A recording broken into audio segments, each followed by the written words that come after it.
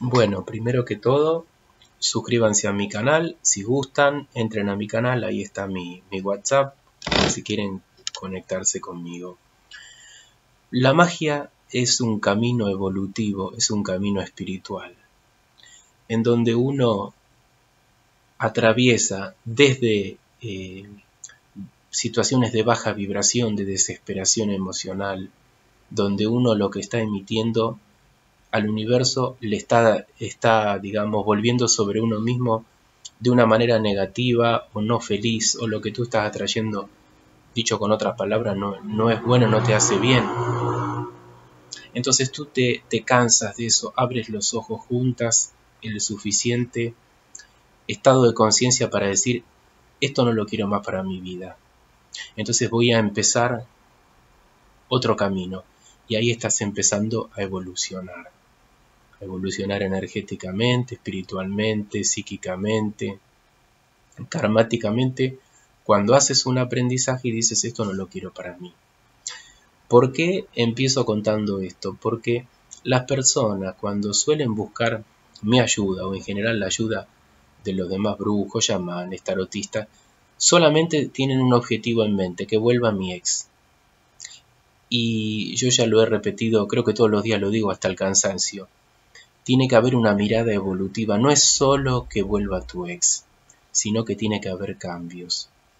O sea, ¿a qué yo llamo cambios? Si tú estabas intenso con tu ex y la llamabas y estabas pendiente de ella y a cada rato le mandabas un mensaje y todo el tiempo le ratificabas tu amor, evolucionar significa deshacerse de ese apego mental, emocional. Sí, yo sé lo que la gente piensa en este momento, eh, pero tengo miedo porque si yo hago esto, abandono el apego, ella se va a ir con otro o él se va a ir con otra. Si la relación tiene que ser, será. Si la relación es de amor, nadie se va a ir por una cosa así. Al revés, usted de esta manera está evolucionando y por supuesto está abriendo el camino a que sea todo más propicio para tener una relación sana. Esto es muy difícil de hacerse no entender a la gente. Porque la gente lo que busca en muchos casos es brujos que le, que le fortifiquen el apego, que, le hagan sentir la seguridad de que, de que ese apego está bien y justamente al revés. Para evolucionar, perdón que me acaba de entrar un mensaje, para evolucionar hay que abandonar ese apego. Para que el retorno de parejas ese sea efectivo, en todo caso también hay que abandonar un poquito el apego. Eh, y si hay miedo, bueno, de una buena vez por todas, hay que enfrentar el temor que tiene uno mismo. El miedo es, algo natural que tenemos las personas. Lo que sucede es que uno no puede estar escapeando del propio miedo toda la vida. Si alguien va a estar contigo, va a estar contigo. Tú tienes que hacer las cosas bien y ser la mejor versión de ti mismo. Eh, por eso, en estos casos, cuando la gente entiende esto, la magia es evolución. Es un proceso evolutivo. La magia no es solamente quiero que vuelva mi ex. Porque si tú piensas la magia en ese nivel, estás vibrando en un nivel muy bajo. Entonces la única relación posible va a ser de muy baja vibración.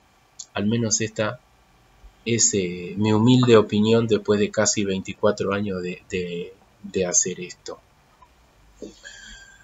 Otra persona hace unos días me decía, Rodrigo, pero usted habla mucho de lo psicológico es que las relaciones de pareja no son solo energéticas o, de conexión mágica o espiritual o karmática, sino que también lo psicológico y lo emocional, la comunicación es fundamental.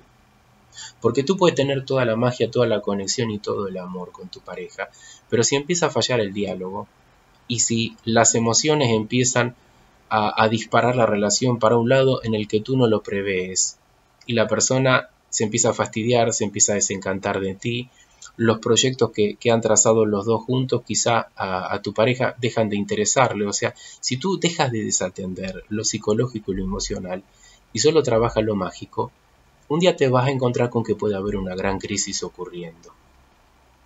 O sea, tú puedes estar muy alineado energéticamente, puedes haber estado pactado de otra vida para encontrarte en esta vida con esta persona, pueden ser almas gemelas vibrando, pero si las cosas se hacen mal en lo emocional o lo psicológico, o, se estanca la relación y de ese estancamiento no se sabe salir, el estancamiento se hace más grande, se va desgastando la pareja, Y tú al final de la historia vas a decir, pero ¿cómo? Si éramos alma gemela, me lo dijo tal vidente, lo sentía yo, lo intuía. Yo siento que esta persona la conozco de vidas anteriores, la amo, no puedo trazar una vida sin esta persona. Y sin embargo todo salió mal. ¿Por qué? Porque hay que cuidar lo psicológico. Hay que cuidar la mente, la forma en la que se relacionan las personas.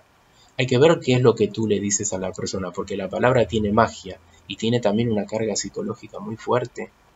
Tú puedes amar a alguien, pero si tú maltratas sistemáticamente a esa persona, ese daño psicológico y emocional va a hacer que un día la persona explote y te mande al carajo.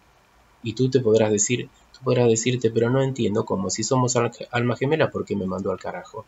Porque te tenía que mandar al carajo la persona. O, tú crees que tú puedes maltratar a alguien o que alguien te puede maltratar a ti y, que lo puede hacer indefinidamente porque hay amor y que nunca se va a ir o nunca te vas a ir tú. Eso es un pensamiento infantil. Es una de las creencias limitantes que, de las cuales yo digo que, que las personas tenemos que evolucionar y darnos cuenta. Eh, mucha gente con mucha programación de culpa. O sea, todos cometemos errores. Parte de la forma en la que tenemos para evolucionar en la vida, eh, por supuesto que hay muchas formas de aprendizaje, pero es cometer errores y darnos cuenta que, bueno, que eso no nos hizo bien, no le hizo bien a una persona que nosotros queremos, por ejemplo, una infidelidad. Por ejemplo, ¿no? Entonces uno dice, bueno, esto no lo vuelvo a hacer, me hizo mal a mí, le hizo mal a mi pareja, eh, empiezo a pensar por qué yo he sido infiel, empezar a analizar, a sanar las carencias, las programaciones a veces que, uno trae, porque a veces abuelos infieles, padres infieles, hijos infieles, o sea, se va trasladando la infidelidad, esa programación.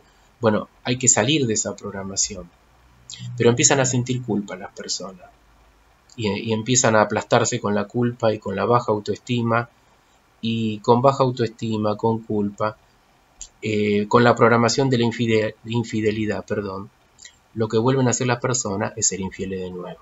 Entonces, eh, muchas programaciones negativas y muchísimo noto la culpa. Las personas cuando se equivocan se sienten inmediatamente culpables. En vez de decir, yo he hecho este daño, supongamos, ¿no? Yo soy responsable.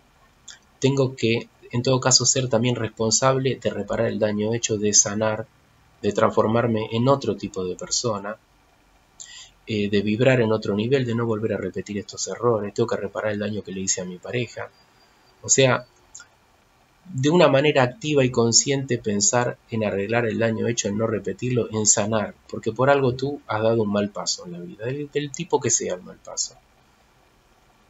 Eh, ahora, las personas frente a esto lo que hacen, en vez de analizar de una manera consciente, dicen yo soy culpable, se deprimen, se aplastan, tratan de compensar la, culpa tratando bien un tiempo a la pareja, supongamos en un caso de, infidelidad, o a veces la culpan a la pareja, dicen yo fui infiel, como dicen muchos hombres, la culpa es tuya. Y claro, las mujeres no lo pueden entender, dicen como yo lo cuido, le hago la comida, le lavo la ropa, estoy para él 24 horas 24-7 los, los 365 días del año, él me es infiel y me culpa a mí. Bueno, mucha gente con esa programación de la culpa hacia uno mismo o hacia el otro. De la necesidad de encontrar un culpable, en vez de uno hacerse responsable, hacerse consciente y ver la situación tal cual es. A ver, yo me equivoqué, lo reconozco, me equivoqué. Sin orgullo, sin ego, sin, sin culpa, nada, me equivoqué. Esto lo tengo que arreglar porque le he jodido la vida a esta mujer o esta mujer me ha jodido a mí, ella es culpable. No, no, ella no es culpable, ella es responsable, ha hecho un daño, estuvo mal, voy a ayudar a que esta persona se haga consciente de que estuvo mal. Ahora, la persona podría reincidir en el daño que te hace una vez, dos veces, tres veces, veinte veces, treinta veces, hasta que eso va a gastar el amor que tú tienes por la persona. Espero que se entienda todo esto porque esto se lo digo a, varias personas que me han hecho preguntas. Ahora voy a hacer otra parte del video donde voy a contestar algunos comentarios.